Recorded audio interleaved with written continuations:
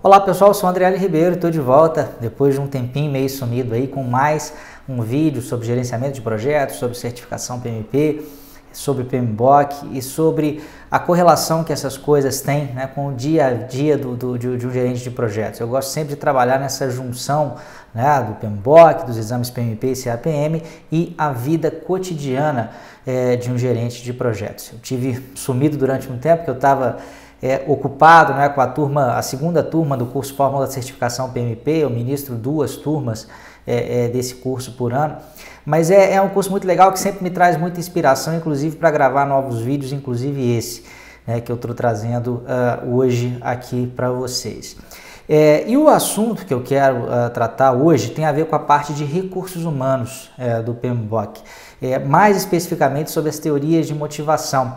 É, na verdade, nem todas essas teorias estão descritas dentro do PMBOK, eu diria que até está mais, tem mais relação com o exame PMP do que propriamente com o PMBOK, quer dizer, é um assunto que, que é muito presente dentro do exame, mas é pouco tratado dentro da sua principal referência, que é o PMBOK. Mas é um assunto muito importante, né, da, da mais alta relevância, dado que é, gerentes de projeto, em muitas situações, eles não têm uma ascensão direta sobre, o seu, sobre a sua equipe, né, digamos, sobre os seus subordinados.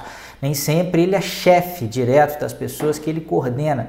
E isso acaba trazendo uma certa dificuldade, né, em especial aí nas, nas estruturas matriciais fracas, né, em que o poder dos gerentes funcionais é muito, muito grande, é, o, o gerente de projetos ele precisa de algo para conseguir motivar é, os seus funcionários e, e, algo diferente de dinheiro, porque muitas vezes também ele não tem condição né, de mexer no salário, na remuneração daquelas pessoas. E aí a, a, as teorias de motivação elas acabam é, sendo muito importantes e às vezes as pessoas não fazem esse link, é justamente a respeito disso que eu quero falar é, hoje aqui com vocês. Existem várias teorias né, é, que foram realizadas. Esse assunto não tem a ver só com gerenciamento de projetos, tem a ver com gestão de modo geral. Né? Então, tipicamente, são pessoas que pesquisam em recursos humanos, de teoria das, das organizações que, que, que, fazem esse tipo de pesquisa.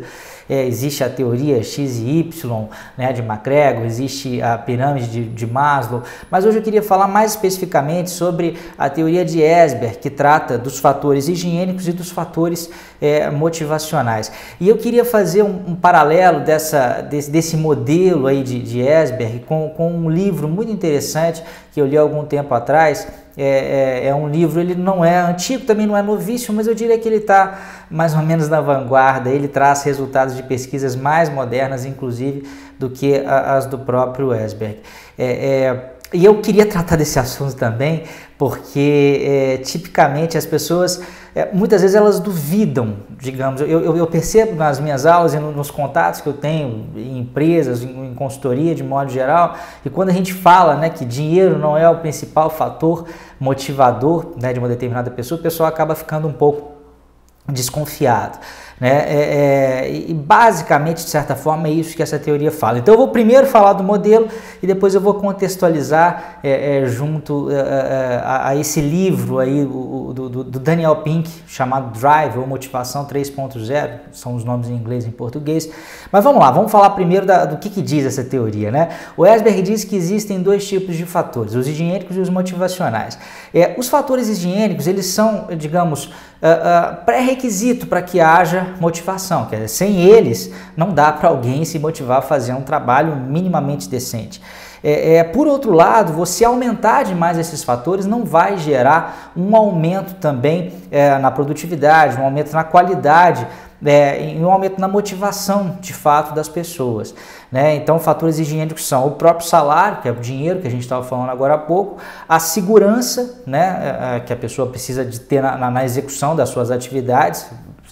Que, que atividade, por exemplo, é, é, seria uma atividade menos segura? Atividade de policiais, por exemplo, atividade de pessoas que trabalham em indústrias em que há um risco iminente de, de vida ou é, é, de dano à sua integridade física e também condições mínimas de trabalho, né? condições inclusive físicas aí, mínimas de trabalho. Então esses fatores não podem faltar, mas a, a, a, digamos, você investir demais neles também acima de um determinado patamar, acaba que vai ser meio que um dinheiro eh, jogado fora.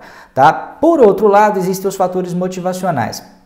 é, e esses sim, eles, eles conseguem, digamos, fazer com que a pessoa dê o seu máximo, dê o seu melhor, ela se sinta realmente motivada para realmente trazer resultados cada vez mais positivos para o projeto e para as organizações.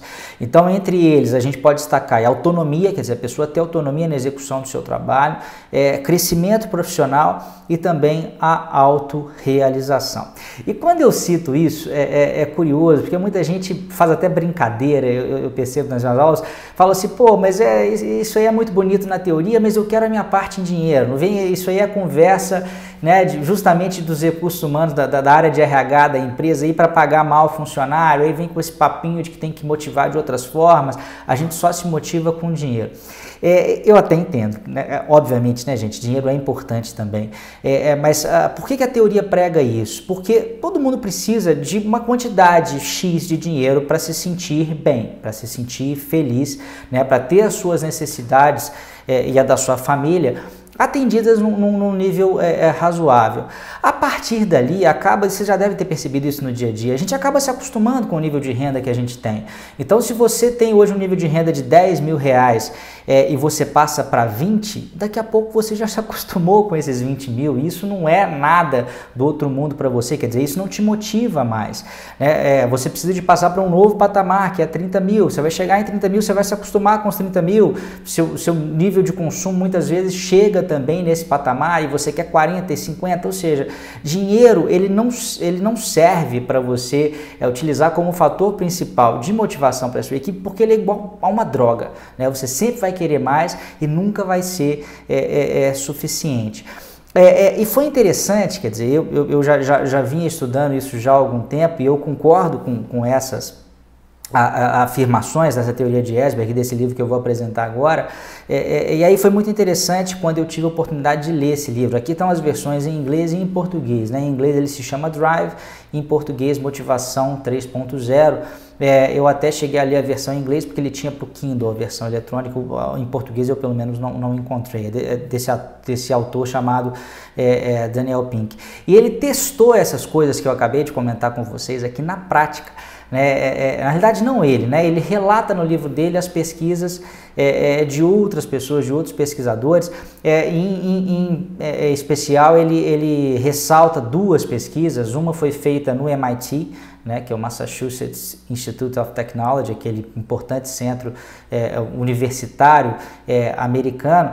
E a pesquisa que ele fez foi o seguinte: ele deu algumas tarefas para que grupos de pessoas fizessem né, tarefas mecânicas e tarefas que, que necessitavam de algumas habilidades cognitivas, quer dizer, de, de raciocínio, de criatividade, esse tipo de coisa.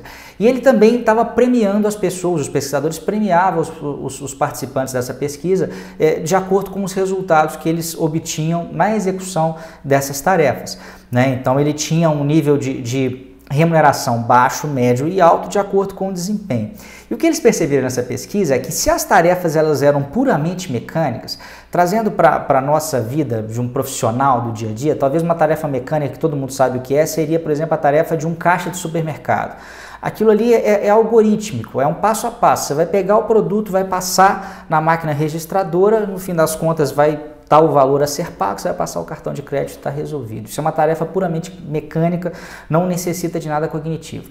Se a, a, ou muito pouco né, de habilidade cognitiva. Se a tarefa era desta natureza, o que acontecia é que o dinheiro servia como motivador, quer dizer, quanto mais bem remunerado, melhor a pessoa desempenhava.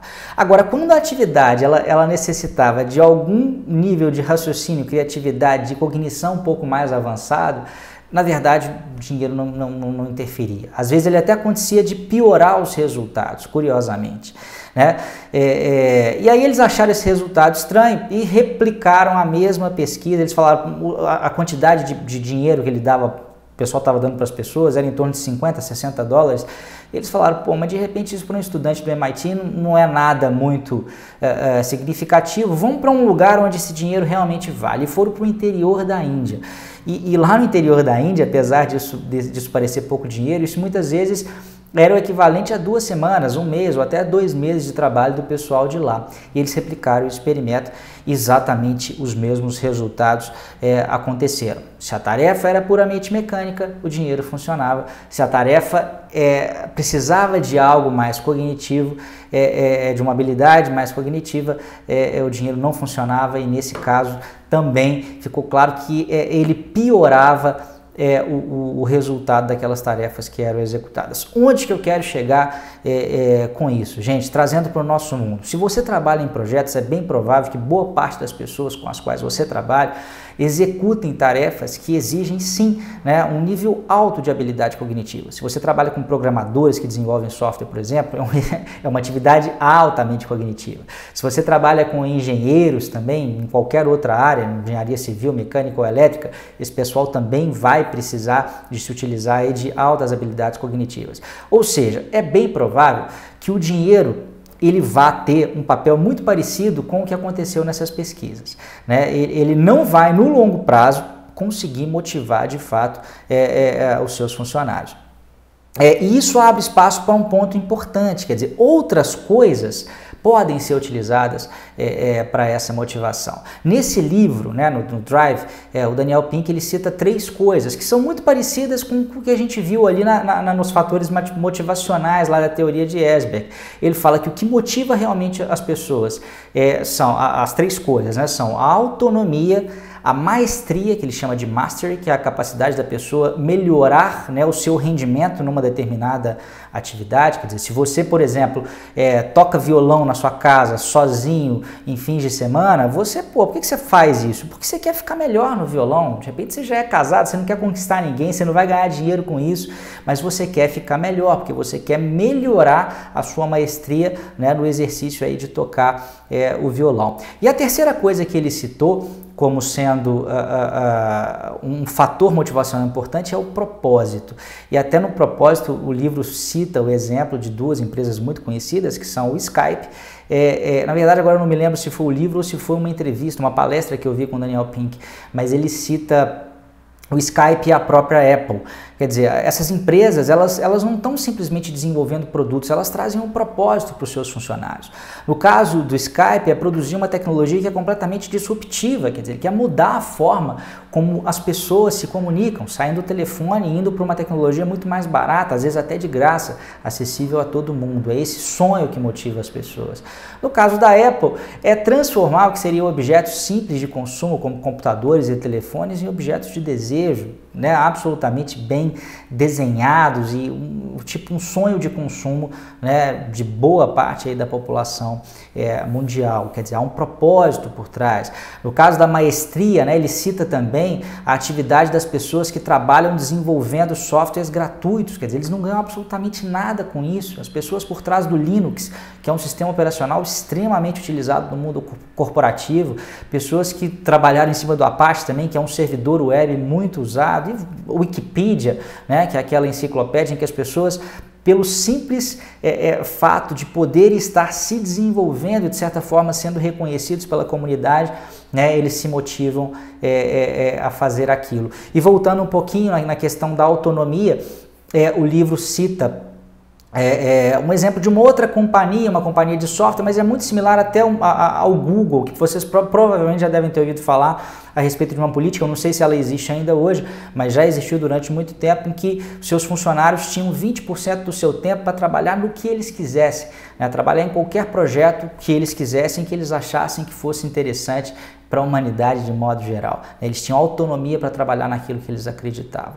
É, e aí a, a, provocação que eu faço aqui para você, que é um gerente de projeto, é, é, é o seguinte: será que você não tem condições né, de diante desses três pilares aí, esquecendo um pouquinho de dinheiro, de conseguir motivar as pessoas que trabalham com você, os seus liderados, as pessoas que fazem parte da sua equipe, pense que esse é um fator muito importante de sucesso para o seu projeto. E eu me deparo a todo tempo, né, é, é, sejam com alunos ou com clientes de consultoria, é, ou conversando com pessoas aí nos congressos, às vezes reclamando, né, ou mesmo nas suas empresas, de que é impossível motivar porque as pessoas só se motivam com dinheiro e ele não tem condição, ele ou ela, de mexer no salário é, é, das pessoas da sua equipe. Pense nisso. Há forma sim é, e de repente até deixe um comentário debaixo desse vídeo sobre como você acha que pode utilizar esses três pilares aí para aumentar a motivação da sua equipe. Agradeço por ter me ouvido até aqui, fique ligado,